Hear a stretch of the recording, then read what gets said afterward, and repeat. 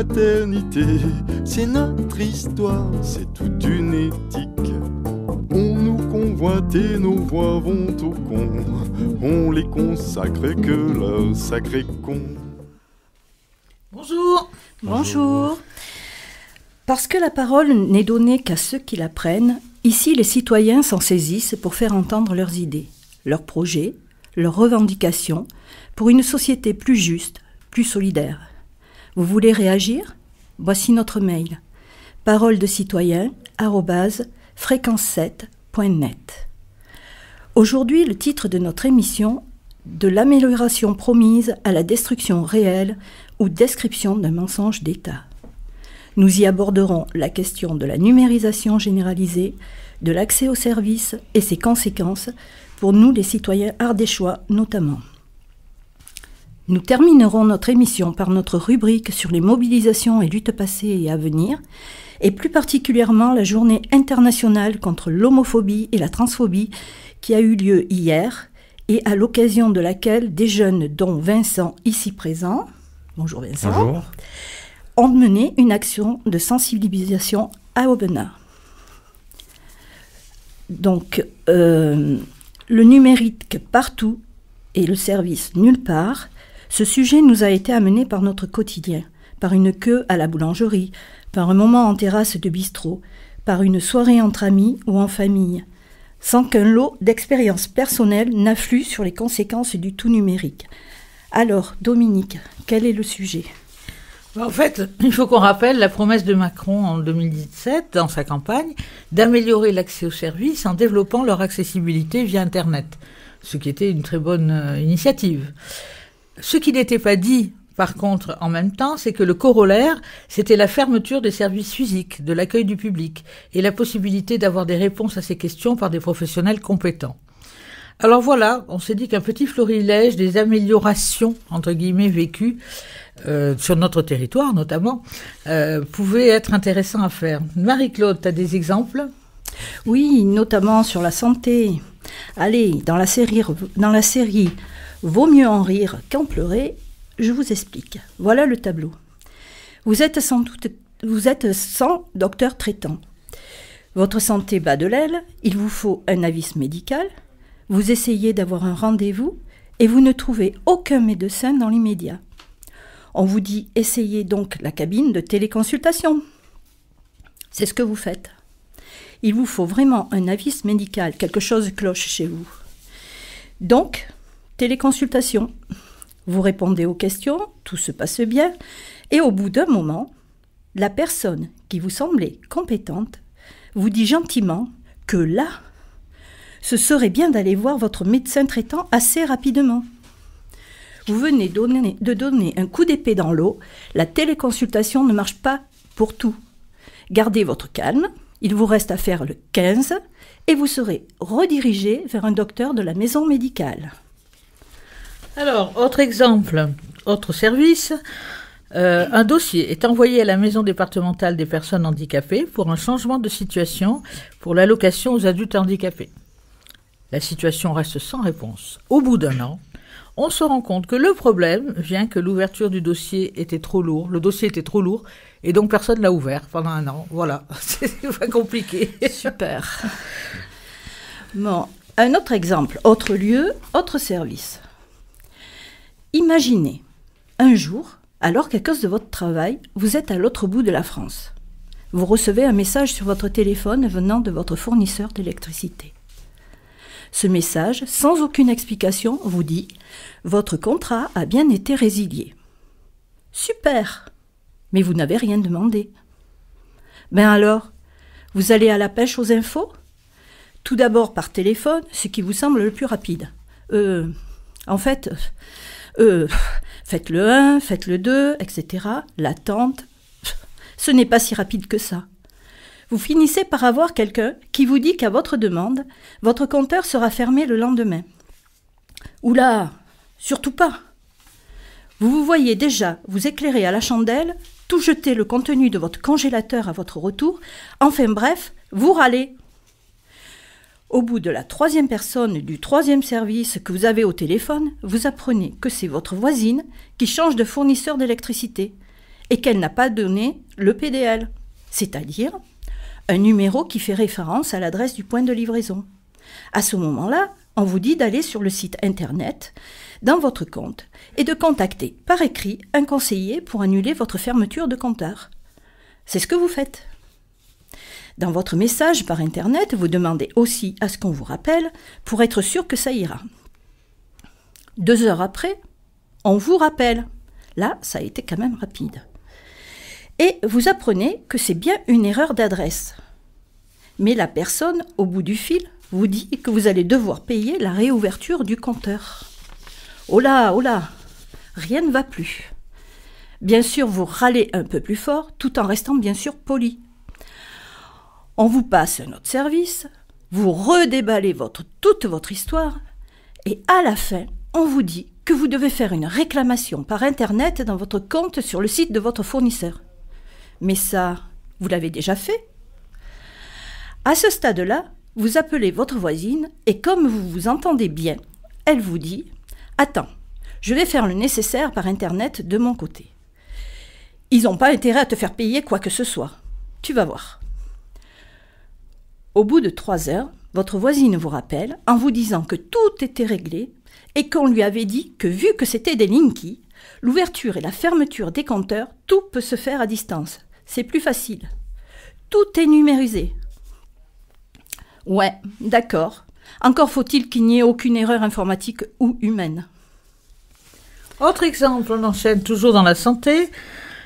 Un ami, après avoir contracté la Covid et en vue d'examens médicaux planifiés de longue date et importants, fait un test au laboratoire de l'hôpital la veille. On lui indique qu'il pourra récupérer son certificat sur Internet. Il a mis 4 heures devant son écran à tenter de le récupérer, en alternant avec des appels au labo. 4 heures, alors qu'on lui aurait tamponné un papier tout de suite au labo, c'était réglé. Alors, là, nous sommes à Parcoursup. Oh, les pauvres étudiants et les bugs. Donc, de nombreux utilisateurs ont des difficultés à se connecter. L'infrastructure ne supporte pas la charge, trop de demandes de connexion. Un jour, le site est perturbé, voire inaccessible. Beaucoup signalent que leur liste de vœux a disparu. Aucune info sur ce bug, aucune info. Mais pour l'État, à ce moment-là, il a été signalé, même pour lui, qu'il était impossible de se connecter sur les dossiers des candidats ce qui devait être un outil simple à utiliser pour, encore une fois, se transforme en parcours du combattant, euh, du combattant pour nos jeunes. Donc nous avons Amélie qui, elle, ne peut pas euh, trouver la, plateforme, en fait, euh, la plateforme bug sans arrêt. Sonia a dit que ses, ses vœux confirmés au début avril, aujourd'hui, en mai, ils, ne sont, marqués comme non confirmés. Bien sûr, il y a des dates limites à surtout ne pas dépasser, ça craint un peu, non? Pour Grégory, impossible de prendre rendez-vous en réponse à des demandes d'entretien. Que faire? Lise explique qu'elle a demandé une formation dans l'alimentaire et Parcoursup en a enregistré une autre. Ça, c'était l'année dernière. Et il n'y a rien eu à faire. Un autre signalement explique que les bulletins ont tous disparu. Il a fallu les, retaper. Que de stress. Et soi-disant, tout devait être plus simple et faciliter la vie des usagers. Alors, avec tous ces exemples, on se dit, mais c'est peut-être que chez nous, hein Non. Le rapport du Conseil national des politiques de lutte contre la pauvreté, qui a été produit, et, l'exclusion sociale, pardon, qui a été produit en avril, hein, donc c'est tout à fait récent sur les politiques gouvernementales, c'est un organisme officiel hein, euh, relié à l'État, dit que la dématérialisation, en effet, est synonyme d'une régression drastique des modalités d'accès aux services publics et surtout avec un accueil physique. Ils ont tous noté des difficultés d'accès et ils rejoignent les conclusions d'un rapport qui a été fait par la défenseur des droits en début d'année. Effectivement, en février 2022, la défenseur des droits dit tous les ans, plus de 80% des réclamations adressées aux défenseurs des droits concernent les difficultés liées aux services publics. Dans les permanences de nos délégués territoriaux arrivent des personnes épuisées, parfois désespérées, qui font part de leur soulagement à pouvoir enfin parler à quelqu'un en chair et en os. Les effets de la dématérialisation nous concernent toutes et tous, et pas seulement les vieux, les illettrés, les, perdus des campagnes, ou des choses comme ça. Hein. Euh, comme pourtant, des fois, donc, euh, le dit le, discours officiel. parce que chacun d'entre nous peut un jour rencontrer un blocage incompréhensible face à un formulaire en ligne, ne pas parvenir à joindre un agent, échouer à dénouer un problème faute de dialogue mais surtout parce que la dématérialisation, telle qu'elle a été conduite jusqu'à présent, s'accompagne d'un report systémique sur l'usager des tâches et de coûts qui incombaient auparavant à l'administration. Là, je cite toujours le rapport. Hein. Sans compter que la fibre développée partout a aussi un coût pour l'usager, ça c'est nous qui le disons. L'abonnement spécifique, hein, c'est-à-dire la fibre, c'est pas, euh, il faut payer hein, quand même. Il faut choisir son opérateur et payer développée partout, donc elle a un coût, et, c'est sur nous qui retombe. Alors que nos impôts sont, prévus pour payer un service public accessible à tous. Donc on paye deux fois, en fait, pour avoir le service euh, de numérisation annoncé. Autre chose que pointe euh, le CNLE dont je parlais tout à l'heure, c'est que la dématérialisation accroît les conséquences négatives du fonctionnement automatique des sanctions. Les dispositifs de droit commun numérisés engendrent une radicalisation totale et non négociable pour le coup, puisque c'est sur Internet, concernant les sanctions immédiates, notamment par exemple les retenues sur le RSA et, tout, tout, un tas de droits euh, qui vous sont supprimés, sucrés parce que euh, vous n'avez pas coché le bon truc, ou voilà. Les cases à cocher sur les plateformes, en plus, ne sont pas toujours représentatives de la situation de la personne. Euh, c'est souvent le cas, par exemple, pour les jeunes volontaires en service civique qui souhaitent le déclarer à la CAF. A priori, euh, rien de prévu. Et on a eu des exemples autour de nous de gens qui, effectivement, euh, leur situation n'était pas prévue par le logiciel et donc ils étaient obligés de cocher un truc et ça leur faisait sauter les possibilités d'accès. Donc voilà pour ce qu'on pouvait dire sur la numérisation. Maintenant, il est temps de notre rubrique Infolute. Donc, Domi, tu, euh, oui, on peut démarrer euh, très concrètement ce qu'on a dit hein, au début, tu l'as annoncé Marie-Claude, c'est-à-dire qu'on avait décidé de faire un focus sur la, la, journée internationale contre l'homophobie et la transphobie qui se déroulait hier. Donc. Et pour en parler, nous recevons Vincent avec nous, euh, qui va nous parler de cette journée et puis de, euh, de, de, ce que ça soulève.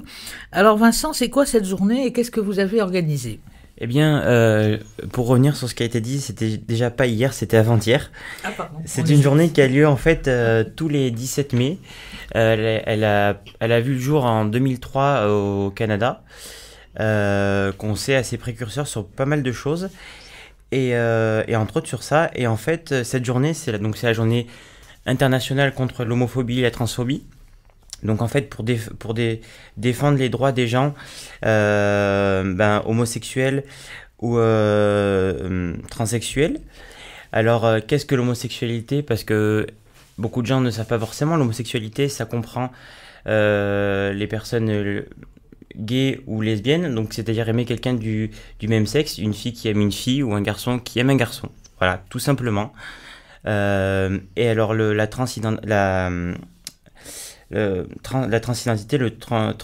le, terme trans, qu'est-ce que ça signifie? Ça signifie qu'en fait on est dans un corps avec euh, des attributs plus masculins ou plus féminins, mais que nous on ne se sent pas, on se sent pas à l'aise avec les attributs que qu'on nous a donnés à la naissance en fait. Et du coup on se on se on se focalise pas sur le sur ce que la société nous force à avoir, on se dit, bon, on a peut-être des attributs masculins, mais moi je me sens plus une femme au fond de moi, donc je vais avoir envie de dire je suis une femme. Et c'est pour ça qu'on utilise ce terme-là. Voilà.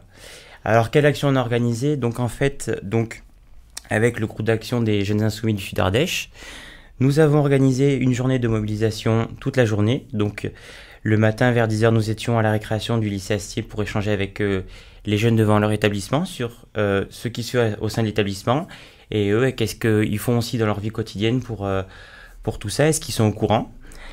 Beaucoup étaient au courant, il y a des choses qui se font dans le lycée et ça, on en est plutôt fiers. Et par la suite, nous sommes montés au, au niveau de l'Agora de l'Agora en centre-ville d'Aubenas pour voilà, tenir une table avec de l'information et échanger avec les gens sur cette journée-là et pour plus précisément se montrer, être visible et faire vivre cette journée. Sachant que nous avons euh, contacté euh, tous les groupes locaux qui pouvaient euh, être à même d'organiser ce, genre de journée. Malheureusement, ils n'étaient pas dans la capacité de l'organiser. Donc c'est pour ça que nous avons voulu à tout prix la, mettre en lumière, même si nous n'avons pas autant de légitimité que ce groupe. Voilà. Euh, ce que je peux dire sur l'action. Euh, juste donc pour euh, compléter ce que tu viens de dire, donc c'était bien une journée contre l'homophobie et la transphobie. Tu nous as parlé donc de, de, l'homosexualité et de la transsexualité. En fait, l'homophobie et la transphobie, ce c'est le rejet des personnes euh, qui euh, vivent euh, comme ça ou qui ont voilà, ou qui ont- voilà. Euh, et, et donc la journée c'était bien pour lutter contre bah, les préjugés, le, le rejet, les discriminations dont peuvent être euh, victimes ces personnes. Euh, quelles conséquences euh, donc euh, vivent les personnes concernées euh, du fait de ce rejet euh, quel, type de, choses vivent-elles euh, au quotidien? Eh ben, au quotidien, on peut déjà remarquer que le risque de tentative de suicide est quatre fois plus élevé chez les jeunes LGBT+. Voilà. On a recensé en 2021 euh, 3790 atteintes commises en raison de l'orientation sexuelle ou de l'identité de, de genre. C'est soit, euh, 60 c'est soit 27,61% de plus par rapport à, à 2020. Voilà, on a, on a donc on a des insultes qui sont fréquemment euh, sorties, euh, pédale douce, euh, la cage au folle, des choses comme ça qui sont violentes, méchantes, euh, espèce de gouine, des choses comme ça, qui ont lieu à 74% dans les lieux publics, à 69% dans le milieu scolaire et à 86% dans le, milieu euh, proche, voisinage, voilà. Et à côté de ça, on a un rejet. Un rejet ou une ignorance totale, donc c'est-à-dire rejeter ou ignorer et continuer. Quelqu'un qui, se considère comme une femme, le continue à appeler euh, monsieur si il a les attributs d'un homme, il se ressemble à un homme. Et ça, c'est du rejet. Et on, ben, on constate 68% de rejet dans le milieu euh, du travail, 83% sur Internet, 73% en milieu scolaire et 80% dans le milieu familial. Et pour tout ça, je tiens à le dire, pour la question du milieu euh, familial, il existe pour les jeunes qui sont rejetés, euh, dans toute la France, il existe le refuge, un lieu qui vous accueille, qui vous entend, qui vous écoute et qui vous permet de, prendre votre temps, de vous prendre en considération qui vous êtes. Parce qu'il y a beaucoup de parents qui rejettent leurs enfants et qui se retrouvent euh, des fois à la rue après 16 ans. Voilà. Et parmi les conséquences, ça peut être parfois très grave. Euh, L'actualité fait qu'on a un exemple tout à fait récent, puisque hier a eu lieu le jugement euh, d'une affaire qui date de 2017. Euh, à Marseille, deux anciens légionnaires ont été condamnés hier à Aix-en-Provence à 18 et 5 ans de prison pour le viol et la séquestration d'un militant LGBT algérien dans une chambre d'un hôtel marseillais en 2017 euh, avec circonstances aggravantes d'homophobie, tant pour les violences que pour le viol. Donc cette personne, elle a vécu l'enfer puisqu'elle a été séquestrée, je crois, 48 heures, euh, à subir euh, les, les, les, les- voilà. Euh, elle a été heureusement sauvée euh, dernier assez, assez tard, donc au bout de 48 heures, par de la police municipale qui a entendu des appels, des cris. Mais voilà, donc on a là un exemple d'aujourd'hui de, de ce qui, de ce que risquent les personnes qui Exactement. sont rejetées de par leur rapport à la sexualité. Vincent, comment comment on peut faire évoluer ça? Ben, on peut le faire évoluer. Je prends, un exemple pour éventuellement les jeunes ou les, les personnes du milieu euh, scolaire qui nous écoutent. Et ça peut s'adapter aussi au, à la vie de tous les jours. On peut agir d'abord en faisant attention aux propos euh, qu'on tient. Euh, C'est-à-dire, par exemple, les blagues qui, stigmati- qui stigmatisent les personnes lesbiennes, gays, bi ou trans. elles blessent, même quand c'est pas, pas l'intention de l'auteur, elles blessent quand même. Voilà, c'est bien ce qu'il faut dire et faut. Et dans la même lignée, bah, tout, ce qui va être euh, des insultes homophobes, même, sous, euh, même pour rire, euh, ça, c'est à bannir. Parce que c'est violent pour la personne, elle le prend mal. Et voilà quoi. Il y a aussi euh, bah, défendre quelqu'un qui, qui en est victime. Si on voit un camarade, quelqu'un dans la rue qui est victime de ça, on peut le dénoncer. C'est punissable par la loi. On a des textes de loi qui défendent. Et suite à ça, il y a aussi des choses plus concrètes pour agir des, de l'État. Donc on a un site écoute.contrôle euh, et une ligne d'écoute téléphonique le 0810 20 30 40. Et euh, localement, vous allez avoir aussi le groupe Queer Cévenol en Ardèche, en Sud-Ardèche, qui euh, agit sur ces questions-là, qui sont contactables sur leur page Facebook. Voilà, et, pas mieux. Et on a, on a aussi, avec le groupe d'Action Jeune Insoumis, diffusé sur notre compte Instagram une interview d'une camarade localement qui est, euh, qui est euh, trans et qui nous a parlé de son quotidien, comment elle le vivait en Ardèche. Donc, euh, si vous voulez en savoir un peu plus, on a nos réseaux sociaux, les Jeunes Insoumis Sud Ardèche. Voilà. Euh, oui, alors on, s'était dit qu'on approfondirait un peu sur certains points, mais là on n'a plus le temps. voilà. Donc on n'approfondirait pas euh, les autres, euh, voilà, ce qu'il y a sur le fond de tout ça aussi. Voilà, donc on termine sur ce point. Peut-être que Marie-Claude, maintenant tu peux nous donner quelques autres nouvelles des luttes. Oui, alors il y a 15 jours, nous vous avions demandé, nous vous avions informé d'un licenciement à l'EHPAD de Saint-Cyr-Nain. C'est une bonne nouvelle. Ce rassemblement a, finalement été annulé, la direction de Bridge a, ayant retiré sa procédure juste avant. Bien sûr, c'est à suivre après les élections. Euh, nous avons aussi au collège de, la Ségalière euh, mobilisation, une mobilisation contre suppression d'une classe. Les parents et enseignants se mobilisent, ainsi que les élus, pour une opération collège mort le mardi 24 mai et rassemblement devant le collège à 9h. Et c'est à l'Argentière. Et c'est à l'Argentière. Alors, à la Viole aussi, des habitants appellent à un rassemblement ce soir à 18h30 sur la place de la mairie, au moment du conseil municipal. Ils refusent le projet de parc éolien à la Viole. Voilà. Euh, donc, ben, nous allons peut-être terminer cette, cette émission. Je vous rappelle euh, quand même le mail pour, des pour vos réactions, les infos, suggestions. Tout sera le bienvenu. Donc, parole de citoyen, fréquence7.net. Au revoir et merci. Merci, au revoir. égalité,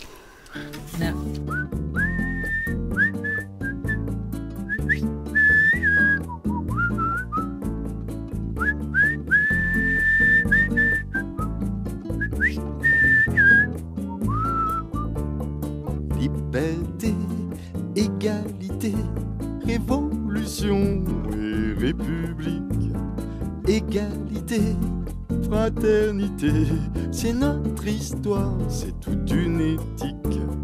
On nous convoite et nos voix vont au con, on les consacre que leur sacré con.